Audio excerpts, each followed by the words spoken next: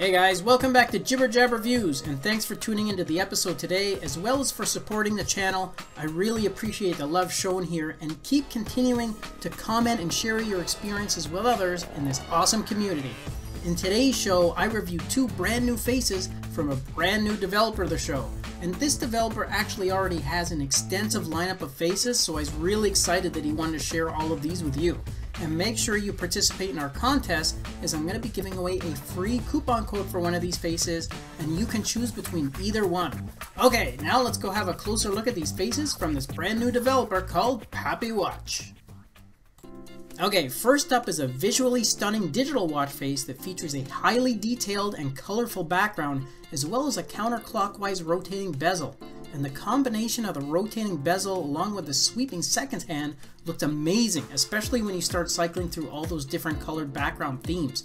Now for activity information, you have a step counter and floors climbed indicator on the left hand side, your calories burnt and last recorded heart rate is on the right, date is at the bottom, and your battery status is shown at the top of the face. There's also four preset app shortcuts to the following your music player, settings, weather, as well as your schedule app. It's definitely a really beautiful piece and it's one that I could see using as a daily face.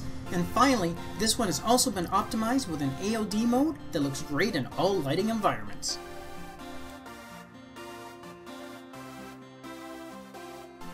And the second one I want to show you is a hybrid watch face. As you can see it has both the analog and digital time shown. And this one has a very nice detailed and vibrant background and it comes in a variety of nice color themes too. And to activate those themes, you just need to double tap on the center of the face. Now for display features on this one, you have your battery status and step goal at the bottom and your heart rate, step count, and floors climbed are all identified at the top of the face. And like the previous model, this one comes equipped with the same four app shortcuts, a clean and colorful AOD mode, and it would be another great one to add to your watch face collection.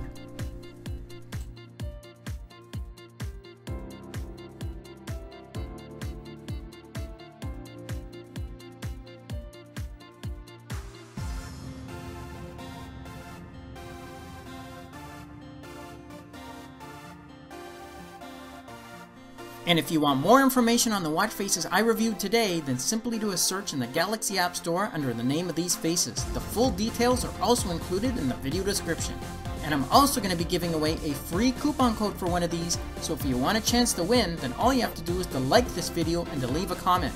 At the end of the day, I'm going to randomly pick one winner from those who commented, and I'll leave a reply under their comment to let them know exactly how they can get the code. So good luck to everyone, and get commenting.